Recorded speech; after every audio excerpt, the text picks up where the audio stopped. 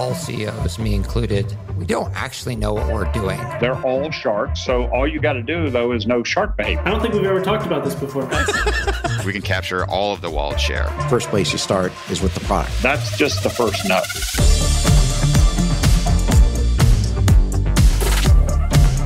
This is the Capital Stack.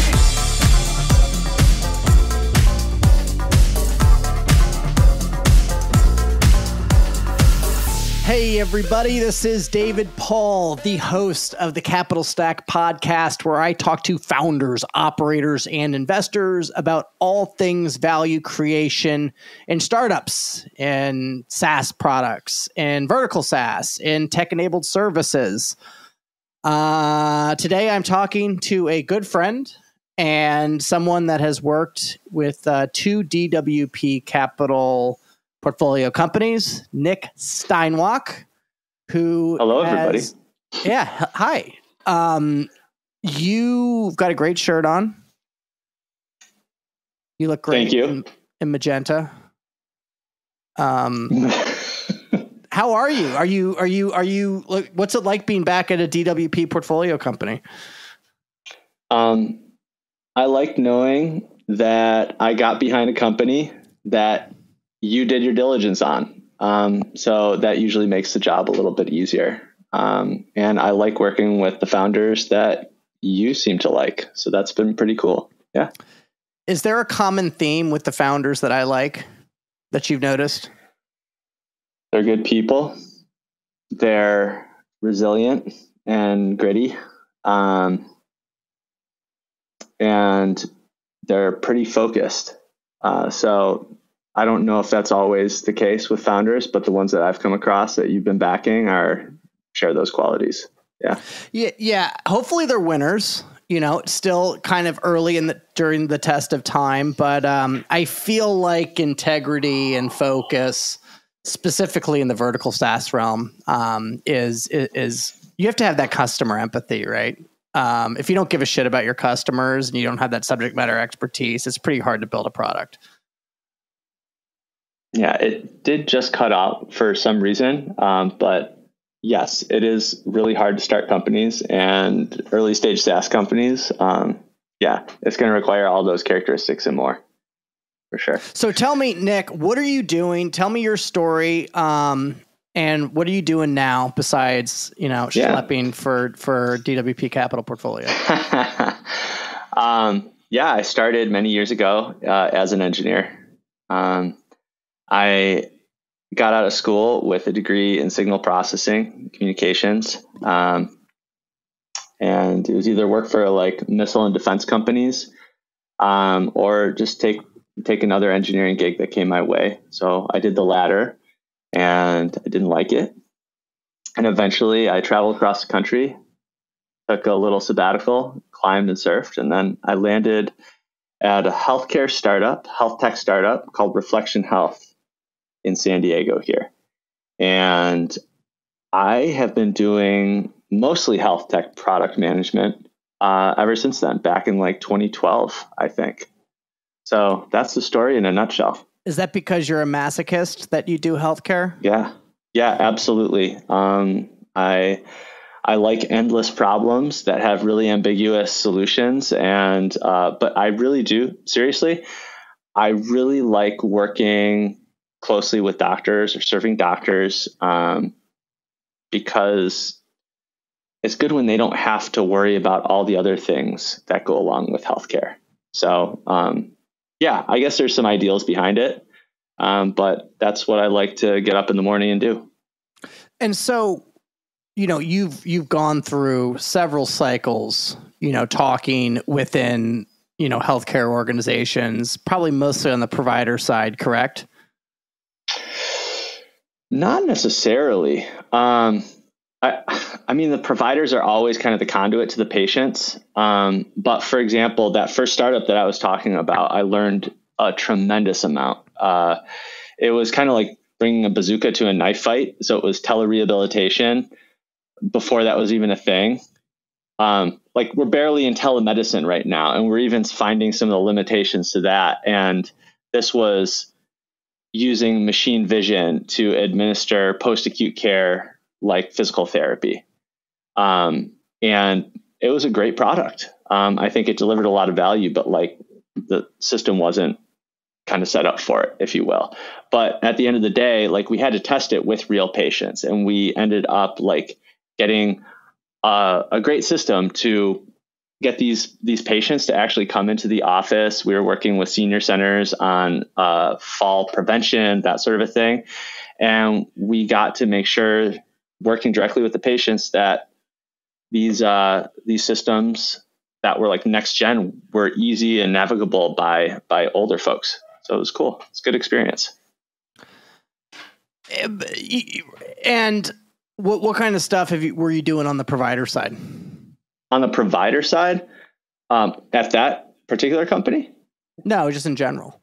In in general, um, it's mostly about reducing burden for providers. Like I think if you were to wave a magic wand right tomorrow, providers just want to practice medicine. They just want to work with patients and get them healthy and have that like awesome doctor patient relationship. Um, and it's surprisingly hard to create that situation in our, our healthcare system today. Um, so I guess, I guess when I did work for the federal government with CMS, a lot of the systems there were like lowering overhead, but also providing like reducing the amount of burden that doctors uh, encounter just to report outcomes to the federal government. Um, with the e-consult platform at Arista MD, we're all about just like clinical operational workflows so that doctors didn't have to make these additional logistical judgments of like, should this go to an e-consult or not? And just kind of integrate that into the flow of care. So there's just like when I'm working with doctors, I'm like, let them be doctors is usually what right. I'm going for. Yeah. And so, it, from a product perspective, and you know, I guess a commercialization usage perspective, what what are the what are the friction points? Getting it paid for. Is always. everyone's just too fucking busy. To, to, is it yeah. all right? So getting it paid for, like getting real, yeah. getting real ROI. Mm-hmm. Yeah, and then it's so funny. There's like three sales in every B2B health tech SaaS sale. There's like this first top line sale where you're like healthcare administration, getting them to buy off on the actual value. And then there's the sale to the people who are going to help you actually implement it and roll it out. And then there's the last sale to the actual doctors that have to use it.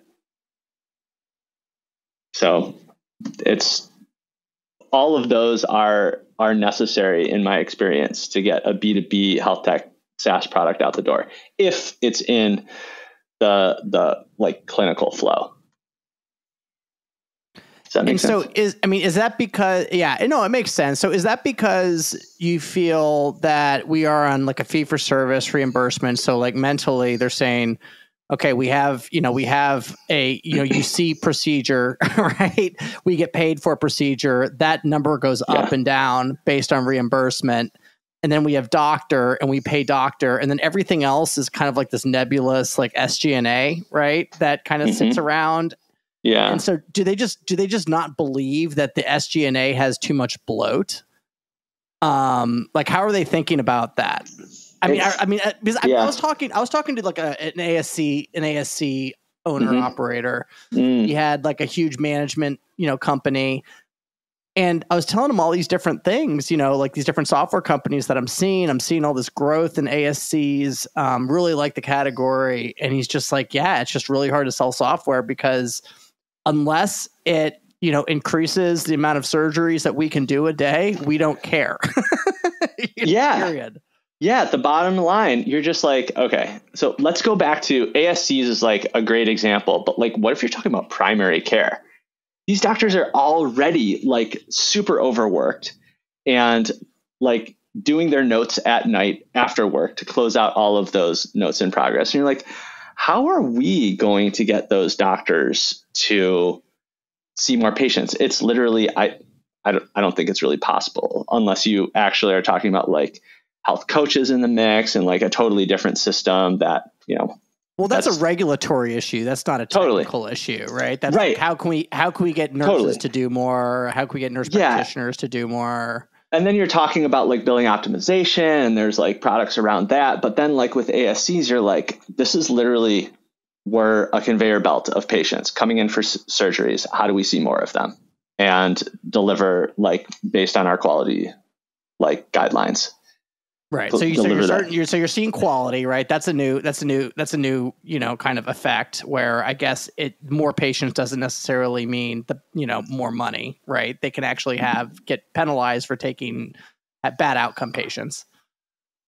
yeah yeah it's kind of i mean man medicine's complicated so like You're like You're like, hey, are our patients? this? Yeah, yeah, yeah. Are patients starting out unhealthy, or is it our surgeons? You know, and obviously, like having dabbled in hospital quality reporting a little bit, like that's a great question to ask. Um, well, yeah. How do you how do you how do you how do you gauge attribution, right? Like you know, and how Mm-hmm. was your surgery or your thing attributed to a better performance or be a demise, right? Like, Yeah, there's just, yeah. There's just it's just it's it's an unsolvable problem. Yeah, um, or a very expensive problem to try to Or- solve with, Yeah. with questionable returns. yeah and so and so you know you look at it you know uh, administrative buy-in clinical buy-in you know uh getting mind share as a friction but so that's a business problem right that's Yeah. not necessarily a product problem Yeah. Well, what I've been really fascinated by lately is all right, the doctor salaries have been going up, as you know, and the margins on a lot of these health systems has been getting thinner and thinner. I hear tell of a lot of health systems out there that you think that they are flush and they're like national leaders and a lot of their clinics are actually losing money. And so there's a lot of things that these systems can use in terms of health tech solutions that are going to improve the lives, the day to day practice of these providers. And hopefully they can be a factor that differentiates them as like a place of work. I don't know. I'm I guess I'm speculating a little bit, but I'm like it is hyper competitive out there in terms of attracting doctors. Um, Oh, there- yeah, we have a huge problem.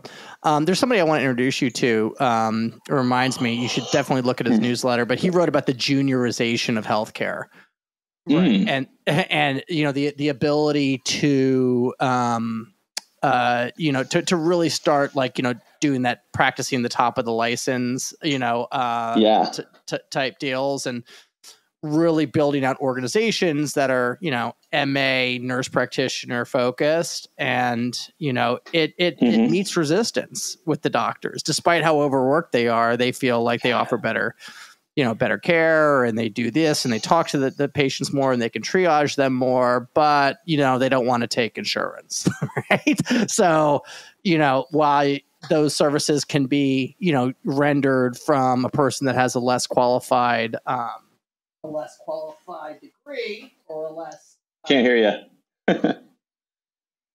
sorry with a less uh, a, a- a less robust degree um, Mhm. you know at, at least it's getting paid for it what are your thoughts in and around that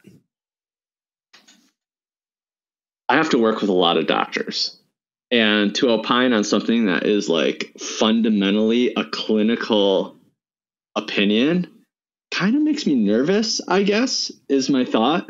Um, so if you're looking for hot takes from me, I'm probably not the guy, right? give me a hot Like, take Yeah.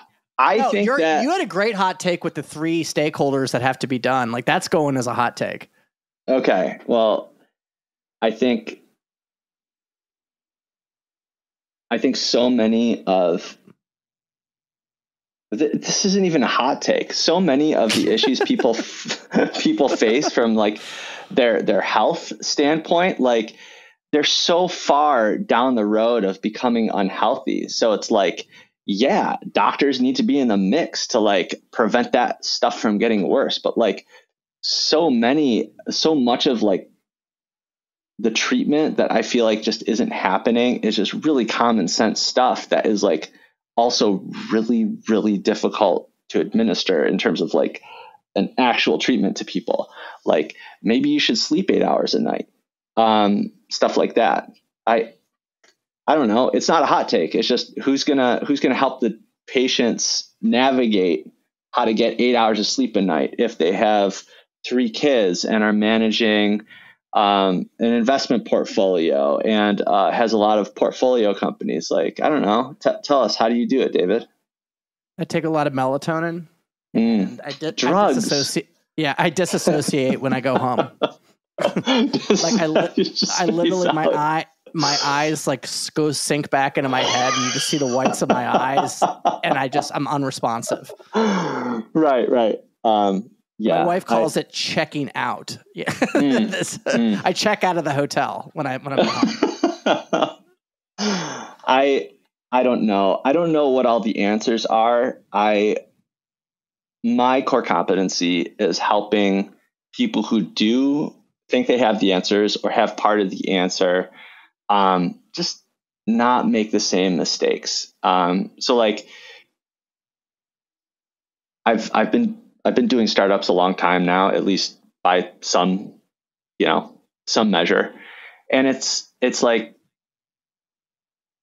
first time founders often make very similar kind of they navigate this thing like we have like a lean startup playbook, right? And they make a lot of the same mistakes because in practice it's just like a really hazy kind of fog of war type of environment. There's like a lot of problems and things that always turn up and it's really hard to kind of navigate like am I making one of those calls where I'm building too much right now? And it's nice to have like a third party in the mix who's kind of been through this before. Um, and yeah, it's it's almost like having somebody alongside you that can simultaneously like defer to the subject matter expertise that you carry into like a startup environment, but at the same time be like, okay, cool. How do we leverage that expertise and still deliver that value to your customers without boiling the ocean here? So, yeah, I just, I know at this point, I, I thought I knew about healthcare. I thought I knew some of the the right things that just need to happen. And as I get older and more experienced in this domain, I feel like I know fewer and fewer of the answers because I don't know if there's any one right answer. I just want to see more founders successful and bringing novel solutions to the market. So, I yeah, I don't think there's one right silver bullet answer. Um, do you what like what is your process uh, in working with founders in a perfect mm. scenario to find a wedge? Mm. So, um, I don't know if your listeners are familiar with this wedge concept or if it's like a common thing nowadays, but you're saying like your MVP, your initial product market fit, the way you're going to break into the market, right? When you say wedge? Correct. Yeah, correct. Um, all right, this is this is going to be frustrating to people who are like product people out there, but from my perspective, it's very much balancing those four risks usability, feasibility, viability, and value. And the bar right now for usability in health tech is pretty low. So it's more of like enablement is usually my bar for for that sort of a situation. So it's like, hey, can users get by? Can we get off the ground? Because there's usually a lot of other technical hurdles to jump through. And then work with your your engineering leadership to say like, okay, trade trade horses on the feasibility side of things and what is the quickest thing that we can deliver into somebody's hands that they can put their hands on that we think might get them the value that they're looking for. And it's really just like an iteration. So my process is who are your partners in actually getting their hands on this? Are they a potential ideal customer? Are they a reference customer? And if so, how do we establish like a trusted relationship with them so that they're going to help us build our product? And then iterate with them as quickly as possible and treat them really well because they there's a lot of customer success in there. So mm-hmm. it's not really much of a process as it is just like a cookbook, I guess. Mm-hmm. Um, I think I wrote a blog post ages ago um, on nine steps to kind of bring a health tech product to market. Um, I think it might be on like the Lisa's website or something like that. But um, a lot of it is customer success in navigating those customer relationships with your first 10 customers. And it can be tenuous because you might sell your product to a first customer who ends up being a really poor fit for your company. And that's a really common thing to come across. Um, happens all the time. And a lot of times, founders will go to the ends of the earth to please these customers. And it's hard to see, man, this was just never going to work. Or if I make this work, it might sink the company. Um, so yeah, uh, I think that was like literally every startup that I've I've done in healthcare. Uh, there there was some flavor of that issue going on. So I know um, I know this this woman that's pretty prolific on you know kind of that founder market, you know that founder led sales motion and that founder you know um, managed sales and she kind of plays in this murky area of you know one to two you know the first zero to one million dollars of revenue mm. really helping navigate the commercialization of, of, the wedge or the series of products mm-hmm. and she says that you know bringing a product to market and it not really landing when you ask for their credit card it's better practice to shift the market a little bit as opposed to shifting the product to try to, as you said, serve that customer. What what are your thoughts around that?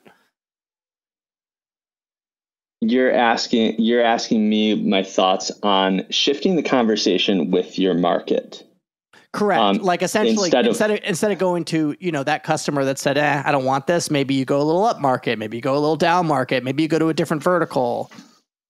I I love that take. Um, this this woman I think very highly of, Martina Lauchengco, says that you should be spending as much on marketing as you are on engineering as a startup. Um, and I haven't seen that in health tech, um, but I also don't disagree with it.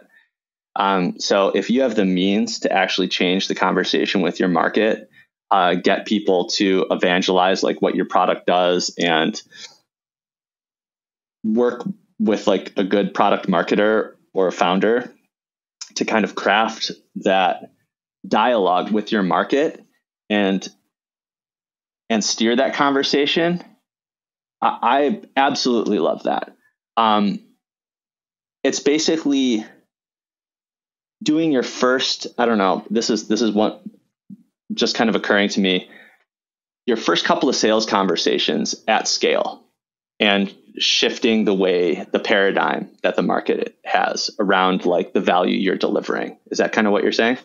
Correct. Yeah. yeah. I mean, just you know, finding somebody else that might buy it versus trying to retool what you've already built, which they said mm-hmm. they wanted, but now they actually don't want to pay for it.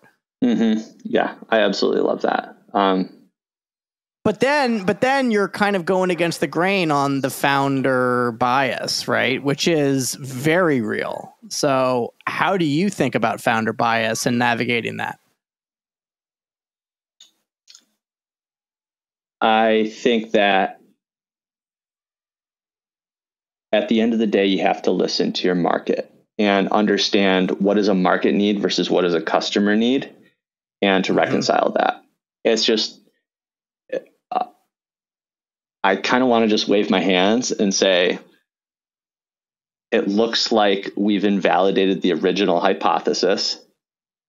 If you have like a strong opinion that something should work, but you have compelling evidence that it doesn't seem to be working, at least like to get across the finish line in sales. If sales can't sell it, then like, hey, we have to change the conversation a little bit. So there has to be some pragmatism there. Right. Um, and you already have something, right? And it's you can probably validate that rather than putting engineers on new feature hoping that they're going to buy the second time. Yeah, are you going to double down and hope for a miracle or are you going to just listen to your customers? exactly. Are you going to listen to the market? Yeah, um, double down, not listen and just try something else, which is yeah. really insanity when you look at it. It is, but it's just we can all empathize with people who have worked in a certain domain for you know their entire career and they're like i know this is the problem. People people aren't listening. Like we've all been in that place but at the end of the day it's like you're not you're not an artist here. We're just we're trying to create a business and it, and it just needs to sell. Um, so again really easy to sit back in our podcast chairs and say this but like as a founder incredibly difficult to let go of the solutions you've been working out in your mind for the better part of a decade. Um, so that's a, a real thing. And, and I think a lot of times where people, where people's expectation and reality uh, become misaligned, it's because they really kind of latch on to solutions that they've already worked out ages ago. Um, so, kind of backing up into the problem you're trying to solve and letting go of the solutions and saying like hey what are we really doing here? What problem are we solving? Is an incredibly powerful mechanism. And that's something like every founder every person i've ever worked with engineering up and down the chain will hear me ask over and over and over again. And it's what my mentors kept asking me to get me to think more like a, a product person. It's good advice. So from a VC perspective or an investor perspective, taking a look mm. at founders that come from a certain situation mm. and want to take the capital that you've bestowed upon them and build the thing. Mm. What type, like, what's the number? What's the number of customer interviews that you feel is appropriate for that is empirical and not anecdotal anymore? Where oh. you have more trust versus less trust? Oh man. I want to like open up that um, book I lent to you right now. Um, Why Startups Fail. Uh, T- Tom Eisenmann. Yes. This am I able to promote books on your podcast? You can, Is that you can promote you can, as long as you didn't write them. That's fair. Okay. yeah. Um, so many. So so this author, Tom Eisenmann, advocated for you know the lean startup mentality, which is like, hey, you got to talk to your users. Um, and one of the biggest pitfalls that you have is these founders often talk to friends and family and get like, yeah, like people who want to support them, um, and like a like very biased um, view on the viability of their their idea and the value of their idea. And I guess what I would say is like change it a little bit. I would want to see founders who have put some money behind some initial MVP and actually taken it to their market and seen significant traction and response and like checks being written um, or like clear like intent to proceed if like a very clear thing is delivered.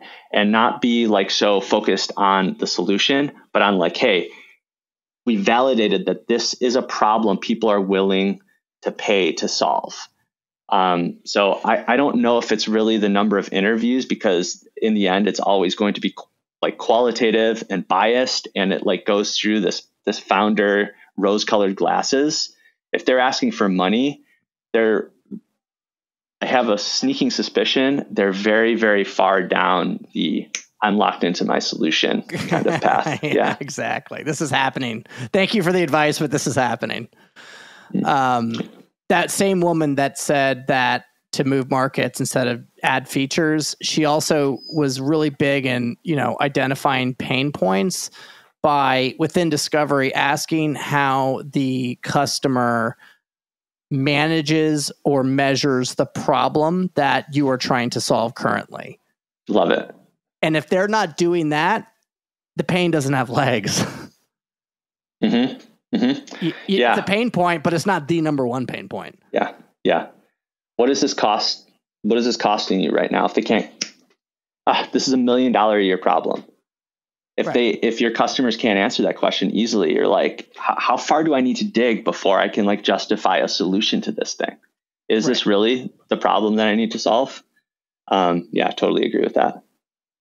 Nick, if I'm a healthcare founder or just any founder that wants to pick your brain about MVPs, products, customer discovery, how do they get in touch with you?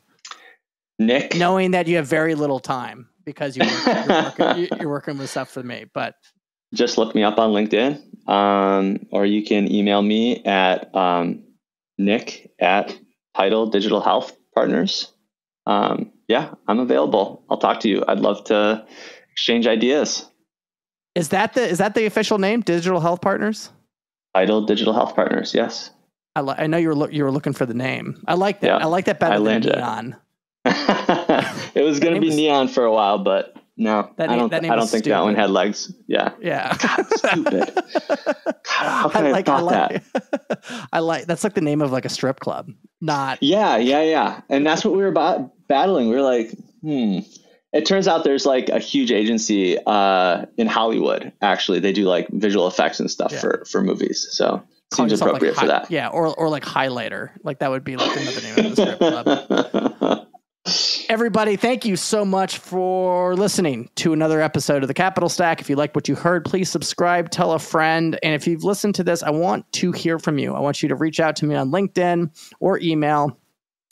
Um, you can find all that information on the show notes, but I want to hear about what you like about this podcast, what you don't like. I'm trying to make it better.